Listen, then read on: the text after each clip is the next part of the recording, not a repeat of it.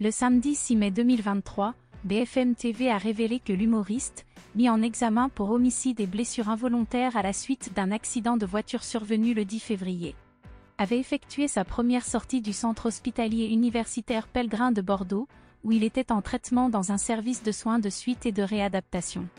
Cette sortie a été rendue possible grâce à un assouplissement du contrôle judiciaire qui avait été instauré dans le cadre de sa mise en examen. Selon les informations que nous avons pu recueillir, c'est sa sœur Hélène qui est venue le chercher en voiture. À compter de ce jour, le collaborateur de longue date de Michel Larocque est autorisé à quitter temporairement l'enceinte de l'hôpital pour assister à des rendez-vous médicaux, des réunions avec ses avocats ou des convocations judiciaires, ainsi que pour les week-ends, à condition que les avis médicaux soient favorables. Toutefois, conformément aux informations diffusées par BFM TV, l'acteur reste assujetti à certaines restrictions, y compris l'interdiction de se rendre en Seine-et-Marne, de quitter le territoire français, de conduire un véhicule et de rencontrer les passagers de son véhicule lors de l'accident qui a entraîné sa mise en examen pour homicide et blessure involontaire. Il est important de rappeler que Pierre Palmade est toujours sous le coup d'une mise en examen pour l'accident qu'il a causé sous l'influence de drogue le 10 février dernier.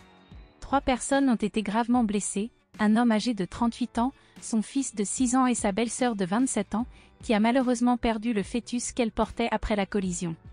L'humoriste a été contrôlé positif à la cocaïne et aurait dû être placé en détention provisoire, mais son état de santé a été considéré comme incompatible avec une incarcération. En outre, il a subi un AVC au cours de cette période. Récemment transféré au CHU de Bordeaux, il était auparavant à l'hôpital Paul Brousse de Villejuif. Paris Match avait dévoilé plusieurs clichés de l'acteur entouré de deux agents de sécurité dans les jardins de l'hôpital. Pierre Palmade est sous contrôle judiciaire. Un contrôle judiciaire très strict établi entre la juge et son avocate, avec beaucoup de choses qu'il ne peut pas faire. Notamment, il doit rester dans une structure médicalisée sous surveillance médicale. Donc il a été convenu que ce protocole durerait six semaines.